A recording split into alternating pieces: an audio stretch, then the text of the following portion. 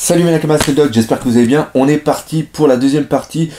On est parti pour la deuxième partie. Il va absolument falloir que je change cette intro de merde. Parce qu'au niveau français, c'est de la merde en barre. Donc, en avant pour la deuxième partie de cette critique analyse du chapitre 818. Pour info, dans la première partie, j'avais parlé euh, surtout de Oden et un petit peu de, des poneglyphes et pourquoi justement Jack et aussi euh, étaient à la recherche de Momo. Maintenant, on va parler de quelque chose de super important, tout simplement, c'est Road Poneglyph.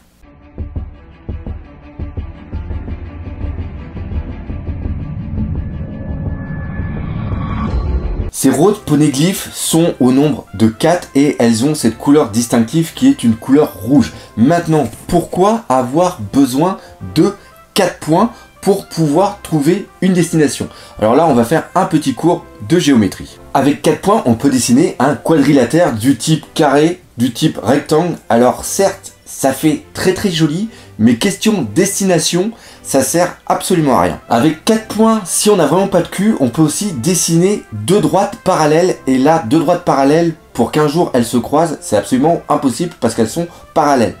Bon, pour ceux qui connaissent pas, je vous conseille d'aller voir Wikipédia parallèle, vous allez voir de quoi je veux parler. Avec 4 points, tu peux aussi dessiner un triangle et un point après à côté, mais là franchement t'as l'air d'un con, donc si c'est pour passer pour un con, euh, autant que t'arrêtes. Et enfin, avec 4 points, tu peux dessiner deux droites qui se croisent et si elles se croisent, ça fait un tout petit point au milieu, et ce point te donne tout simplement la localisation de Raftel. Alors je te demande pas à prendre n'importe quelle carte du monde et à faire des droites et après de les croiser, puis tu trouveras Raftel. Faut quand même avoir un minimum, faut quand même savoir un tout petit peu lire les cartes, et c'est là-dedans que Nami, maintenant, elle prend toute son importance. Bon, maintenant qu'on a vu comment justement utiliser les 4 points, maintenant c'est savoir comment connaître la position de chaque carte. Comme je l'ai dit juste avant, c'est en lisant ces routes poneglyphes et en ayant une navigatrice qui peut parfaitement pouvoir indiquer où est ce point exactement sur une carte du monde de One Piece. Le tout maintenant est aussi de savoir où sont ces 4 putains de road poneglyphes. Premièrement, on sait qu'il y en a une qui est sur Zo,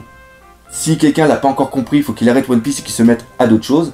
On sait qu'une deuxième est en possession de Big Mom, une troisième est en possession de Kaidu. Alors là, question destin, on voit pas mieux parce que justement en ce moment, Luffy est un petit peu dans la merde par rapport à deux problèmes qui sont liés justement à Big Mom et aussi à Kaidu. Et là, on remarque que ces deux personnes sont en possession des roads poneglyphes. Si ça, c'est pas du destin, je m'y connais pas. Ou alors la personne qui a fait le scénar a vraiment mis des très très grosses ficelles. C'est un petit peu l'humour, mais c'est vrai que là ça fait un tout petit peu téléphoner. C'est-à-dire que c'est sûr que c'est pour recentrer la, la comment s'appelle la l'aventure la le, le, cheminement de One Piece mais c'est quand même quelque chose que j'ai trouvé très très gros que le fait que les deux problèmes auxquels font face justement en ce moment Luffy et son équipage et aussi l'alliance avec l'eau, soit en vérité aussi les deux personnes qui possèdent les road poneglyphes. C'est quand même très très fort, faut bien se l'avouer. Maintenant, où est la quatrième road poneglyph Inu Arashi nous annonce qu'ils ont perdu la localisation on sait tout simplement pas où elle est. Par contre, on peut parfaitement imaginer que avant Goldie Roger, on savait où elle était parce que tout simplement Goldie Roger a vu les quatre road poneglyph parce qu'il a été à Raftel. Tout simplement. Ça, c'est quelque chose, c'est béton. Il n'a pas pu y aller qu'en lisant les trois. Il n'y a, y a, pas, y a, y a pas autre chose. Donc, obligatoirement, à un moment donné, on savait où était, quelqu'un savait justement où étaient les quatre, et justement ceux qui ont fait partie de cet équipage, ils avaient cette connaissance. À partir de là, on sait qu'il y en a une qui a disparu. C'est-à-dire que les deux autres ont été prises par euh, justement Kaidu et aussi Big Mom, mais on sait que la troisième a disparu. Et où elle est cette putain de road poneglyph rouge. Oui, je rajoute rouge parce que j'aime bien, j'aime bien cette couleur. Première hypothèse, c'est tout simplement que cette Prio de poneglyph est sur Marie Joa et que c'est le trésor national de Marie Joa. Il y en a beaucoup qui pensent à cette théorie, personnellement je ne la valide pas. Pourquoi? Tout simplement parce que Doflamingo nous a donné une putain d'information. C'est que ce trésor national, s'il était découvert par la population, ça pourrait mettre carrément à, feu et à sang euh, ce, euh, cette, ce, ce, ce, monde de One Piece. Donc, et il a aussi dit que il lui manquait la, la vie éternelle pour pouvoir utiliser ce trésor national. Ça, c'est quand même assez important. Donc, pour moi, ce trésor national est une arme qui est capable de détruire le monde de One Piece. C'est-à-dire que si le monde avait pour connaissance que ces malades de Dragon Céleste ont une arme qui est, une arme qui est capable de tuer tout le monde, ça, il, chierait un petit peu sa race. Pour moi, c'est ça que je vois le Trésor. En plus, c'est sûr qu'on peut imaginer que le gouvernement mondial, si il a le road poneglyph, et vu que peut-être que l'information qui a Raftel pourrait destituer Marie-Joa, qui se disent putain, si on a la, si on l'a la, la, la route poneglyph, personne pourra nous niquer la gueule. Voilà, c'est nous les patrons, donc maintenant vous faites pas chier. C'est un peu comme ça qu'on pourrait le voir. Mais personnellement, c'est, je, je, sens pas. Non, non, non, je le sens pas. Je, pense que le trésor national de Marie-Joa est quand même quelque chose qui est totalement à côté, qui est totalement à part. Et encore une fois, Doflamingo nous a donné une bonne information par rapport à ça. Parce que, encore une fois, Doflamingo, lui, il en a absolument rien à battre les couilles du One Piece. Lui, son but, c'est de détruire le monde, tout simplement. Donc, euh, donc voilà, voilà, voilà. On passe à la deuxième solution? Pour cette deuxième solution, j'ai pensé tout simplement qu'elle était sur la Lune.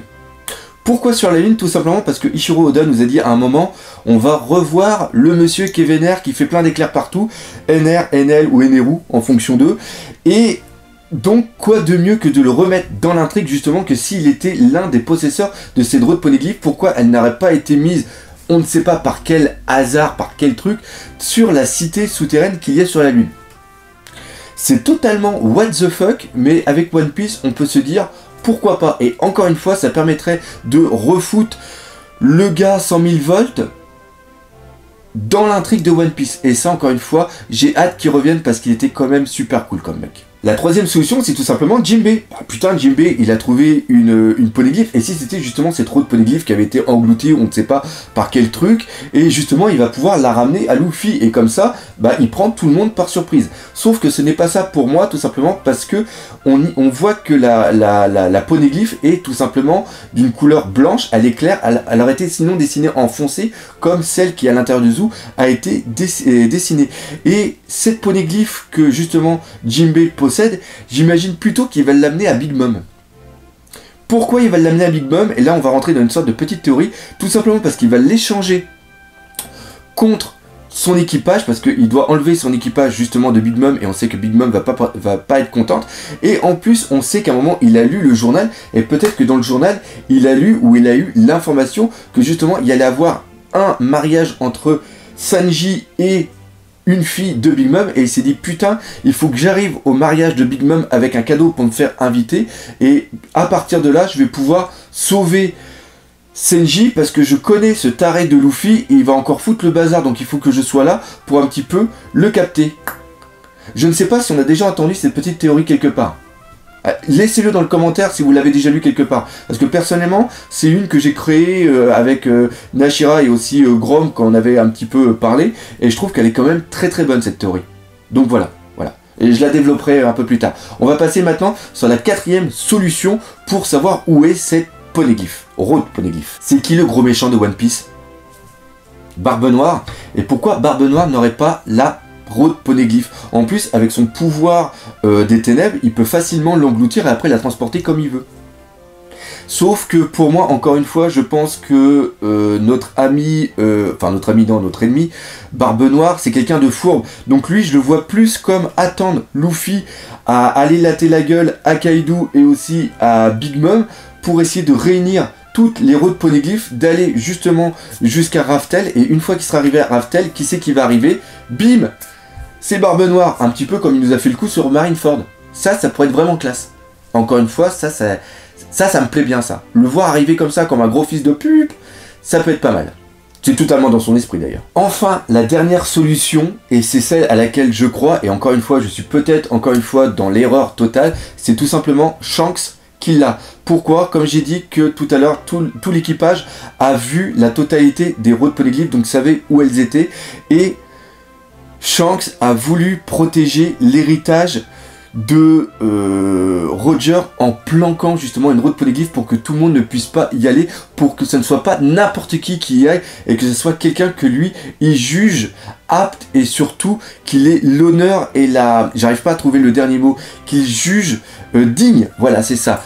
D'aller sur Raftel et qui est cette personne? C'est tout simplement Luffy. Et encore une fois d'avoir des routes poneglyphes qui vous amènent à Raftel ne vous permet peut-être pas d'aller directement à Raftel parce qu'il vous permet peut-être, il vous faut peut-être une putain de clé et cette clé c'est peut-être tout simplement un dit et là on va basculer par rapport à une conversation qu'a eu Barbe Blanche avec Roger. On se souvient tous justement quand Roger a bu le saké avec Barbe Blanche qui lui dit que moi tout le monde m'appelle Gold Roger alors que c'est Gold dit Roger et là il y a Barbe Blanche qui dit bah justement moi dans mon équipage j'ai aussi un dit.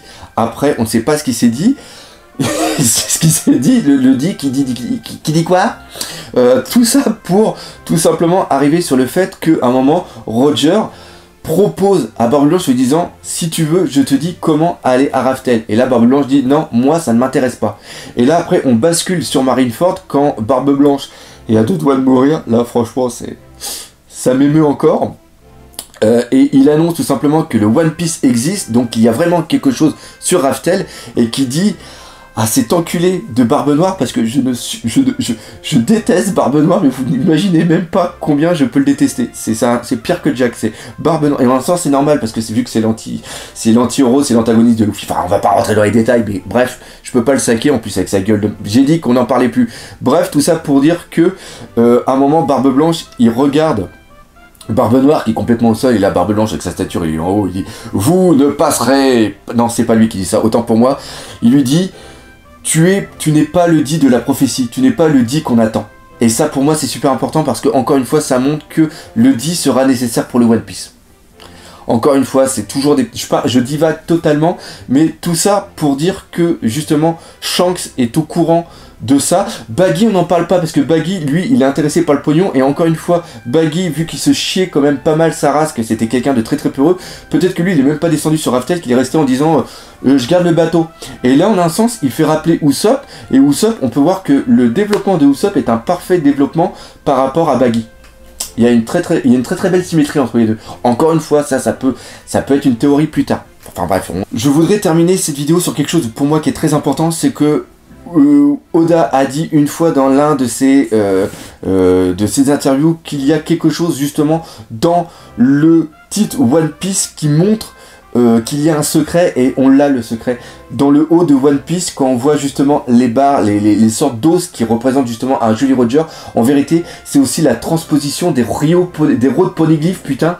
C'est-à-dire qu'on voit les quatre points qui se réunissent au centre. Et le centre c'est le haut de One Piece, le haut qui représente l'île de Raftel. Et à son centre on a ce putain de One Piece, le haut originel de One Piece. Et justement dans ce haut on le remarque aussi dans le logo de la famille Kuzuki, c'est-à-dire qu'on a un cercle avec justement quatre, euh, quatre trucs et les quatre trucs ce sont les roads justement les roads poneglyphes. Tout tout s'assemble et justement à la fin on a une sorte d'encre qui permet de, de, une encre qu'on envoie normalement dans le fond marin. Et pour moi justement cette île est peut-être euh, par rapport à, à, comme l'empire de Mu ou une île disparue ou quelque chose comme ça. Il y a aussi putain d'Ashira tu m'avais je me rappelle plus le, nom mais il y a cette île justement qui est au bord du Japon qui, qui date au moins de 2000 voire même 10 000 ans selon certains qui l'ont euh, qui l'ont établi. Enfin bref, il y a plein plein d'informations. Il y a, ce chapitre 818 marque un avant et un après justement One Piece. C'est important encore une fois. Le 8 est quelque chose qui, qui, symbolise aussi, euh, qui peut symboliser infini, mais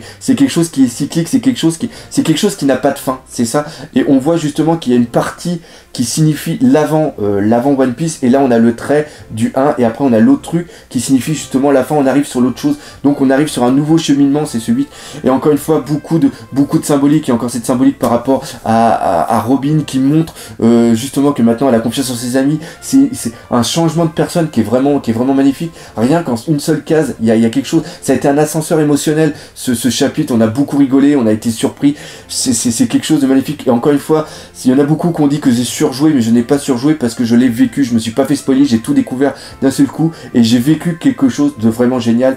Et c'est ça One Piece c'est ça cette magie One Piece. C'est pour ça qu'il faut continuer à lire One Piece parce que des trucs comme ça, vous allez encore vous en prendre plein la gueule et on se rappellera toujours le message de Ichiro Oda, c'est-à-dire que la bataille finale Marineford à côté, c'est du pipicha. Il n'a pas dit exactement du pipicha, mais il, a dit que le fut, il va y avoir quelque chose et c'est grâce à vous que je peux vivre cette aventure et encore une fois un gros gros gros merci. Donc voilà, cette vidéo est maintenant terminée, j'espère que vous l'aurez bien apprécié. Encore une fois, il va y avoir une théorie sur euh, Shanks et la poneglyph. Euh, je vous prépare ça pour la semaine prochaine parce que là j'ai pas le temps de bosser, c'est quand même la fin de semaine. Hein. Faut que je prenne un petit peu de temps pour, euh, pour souffler. Bref, un gros merci, j'espère que cette vidéo vous a plu. Comme d'habitude, si c'est le cas, n'hésitez pas à partager, à liker, à liker, non c'est défoncer la gueule ce putain de pouce bleu, donc c'est à partager, abonnez-vous, faites ce que vous voulez, amusez-vous. Bref, comme d'habitude, nous on se dit à pour de nouvelles aventures One Piece. Allez Salut mes Nakama